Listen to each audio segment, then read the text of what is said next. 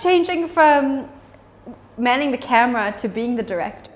It's a good question. It's um, that's a good, a good question. I, I would say like um, the way when I work with, uh, is you know, I worked with Clint Eastwood for 20 years as his cameraman, and what Clint has done for me is prepared me to be a director because what he does is he empowers me as a cameraman to do the job of a director. I basically have been working with him.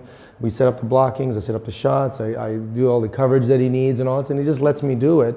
And he's just that empowering. He just he trusts me, and he, if there's something I'm not doing that he doesn't like, he'll tell me, obviously. But that has prepared me to be a director because he has just let me do all that. So when I was here with, uh, with Matt Damon on Invictus, he said the same thing. He said, Steve, you doing everything a director should be doing. That's what you should be doing. And I said, yes, that's what I want to do. And uh, the first person that uh, uh, believed in me was Anton Ernst. He gave my first job. He says, "Yep, you can do it." He, he uh, I won him over, and uh, here I am. You know, it's an incredible journey. Amazing. Well, we're happy that you're here. Yes, thank um, you.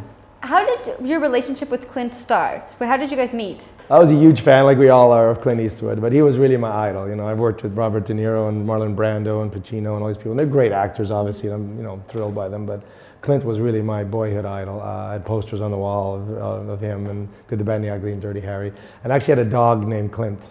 Really? A dog named Clint. 16 years that dog lasted, and he was the best dog ever. And he's named Clint because I just loved the man. And you know, I grew up in Montreal, uh, and my dream was to meet Clint one day. You know, I didn't know I was going to be in the film business as a kid, but I ended up that's the way. And I thought, okay, that's one step closer to meeting him.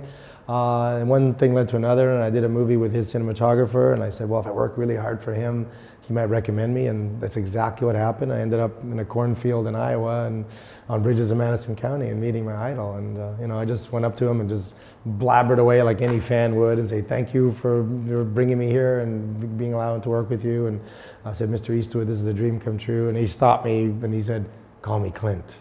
That's amazing.